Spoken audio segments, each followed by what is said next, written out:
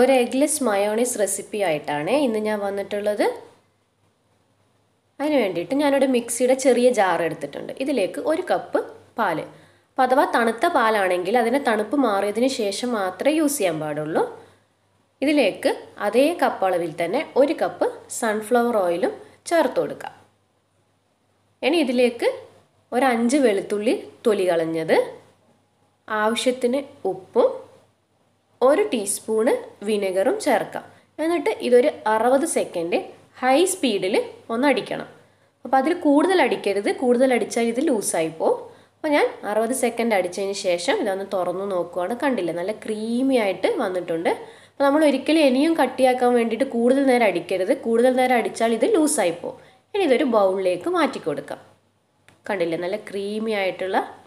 mayonnaise ഇവിടെ റെഡിയായി അപ്പോൾ ഇതെല്ലാവരും ഒന്ന് ട്രൈ ചെയ്ത് നോക്കണേ